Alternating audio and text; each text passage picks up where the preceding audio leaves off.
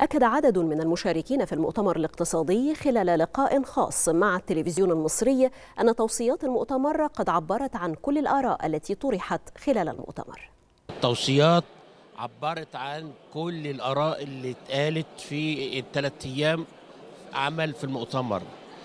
فخرجت التوصيات مناسبة جدا وواضحة جدا وأهم ما في التوصيات هو تأكيد الرئيس على التزام الحكومة بها؟ أهم التوصيات اللي إحنا اللي فعلا المعوقات اللي كانت في الصناعة حاليا تناقشنا فيها في بشكل عميق وتم الوصول إلى حلول فعلا كنا بننادي عليها من فترة طويلة وأهمها كانت يعني هو رسم خريطة مصر الصناعية رقم واحد. رقم اثنين كثرة الضبطية القضائيه التي بيعاني منها المستثمر. برضو عمل صندوق معين يخص المستثمرين بحيث إن إحنا ما نكونش في حوالي من ثمان وزارات بتعمل ضبطية قضائيه على المستثمر.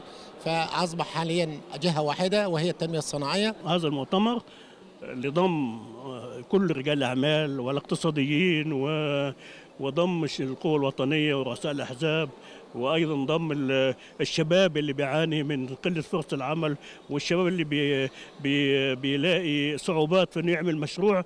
هذا المؤتمر أعتقد إنه وضع حلول لكل هذا نتائج رائعة وهي طبعا زي ما قال الرئيس قال لك آه ممكن طالب في سياسة واقتصاد يقدر يحط كل الكلام ده بس المهم هتتنفذ إزاي؟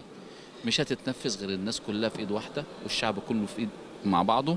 وإن شاء الله نقدر ننفذها ونبقى كلنا داعمين للسيد الرئيس في إن شاء الله في, في إن إحنا نعدي الأزمة الاقتصادية دي.